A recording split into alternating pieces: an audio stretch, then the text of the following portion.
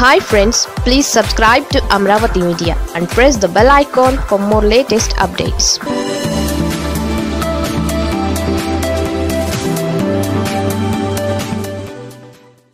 Pawan కళ్యాణ్కు ఇంతకన్నా అవమానం ఉంటుందా? ఉట్టకి ఎగరలేనమ్మ స్వర్గానికి ఎగురుతానని అన్నదట అన్న సామెతలో చెప్పినట్లే ఉంది జనసేన అధినేత పవన్ కళ్యాణ్ వ్యవహారం.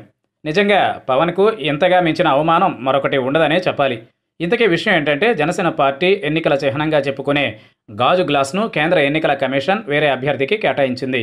బద్వేల అసెంబ్లీ ఉప ఎన్నికల్లో కూడా ఇలాగే ఇంకో అభ్యర్థికి కేటాయించిన సంగతి తెలిసిందే. నెల్లూరు జిల్లాలో జరగబోతున్న ఆత్మకూరు అసెంబ్లీ ఉప ఎన్నికలో పోటీ చేస్తున్న నవరంగ్ కాంగ్రెస్ పార్టీ అభ్యర్థి షేక్ జలీల్కు ఎన్నికల కమిషన్ గాజు గ్లాస్ చిహ్నాన్ని కేటాయించింది. ఏదైనా పార్టీకి ఒక ఎన్నికల చిహ్నం స్థిరంగా ఉండాలంటే సదరు పార్టీ సాధించాల్సిన ఓట్లు సీట్ల విషయంలో ఎన్నికల కమిషన్ స్పష్టంగా నిబంధనలు రూపొందించింది. కమిషన్ చెప్పిన నిబంధనలకు జనసేనకు ఏ రకంగా కూడా దగ్గరలో లేదు. ఎందుకంటే మొన్నటి ఎన్నికలలో జనసేన గెలిచిందే ఒక్క సీటు. ఇదే సమయంలో జనసేన కూటమికి వచ్చిన ఓట్లు ఐదు పాయింట్ ఆరు శాతం.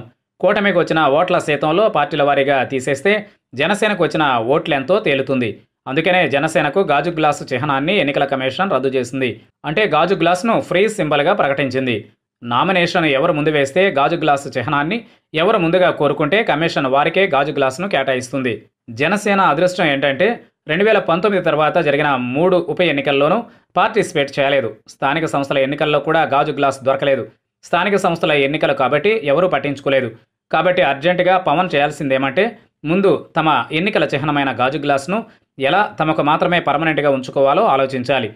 ప్రభుత్వాన్ని ఏర్పాటు చేయడం ముఖ్యమంత్రి అవ్వడం తర్వాత చూసుకోవచ్చు. లేకపోతే చివరకు ఎన్నికల చిహ్నాన్ని కూడా కాపాడుకోలేని అసమర్థుడిగా పవన్ మిగిలిపోవడం ఖాయం.